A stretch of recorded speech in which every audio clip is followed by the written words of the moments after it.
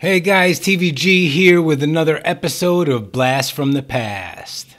Today we're going to be focusing on Christopher Walken and his Oscar win for Best Supporting Actor in the feature film entitled The Deer Hunter.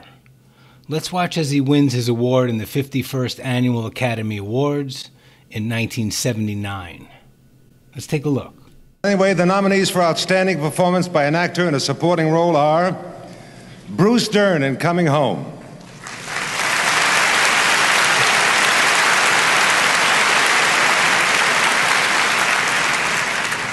Richard Farnsworth in Comes a Horseman.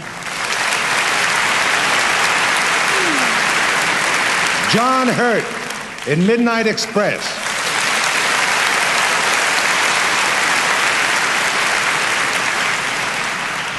Christopher Walken in The Deer Hunter. And Jack Warden in Heaven Can Wait.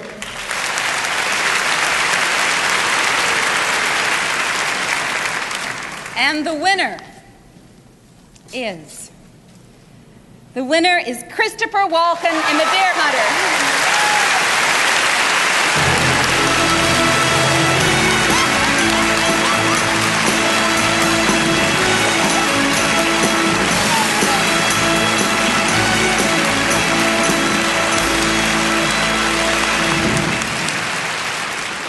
Thank you, Michael.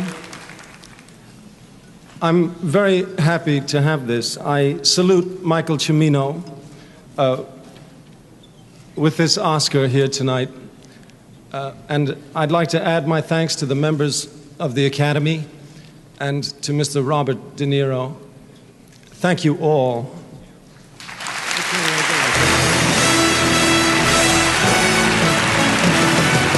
Okay, guys, leave a comment down below. Let me know what you think.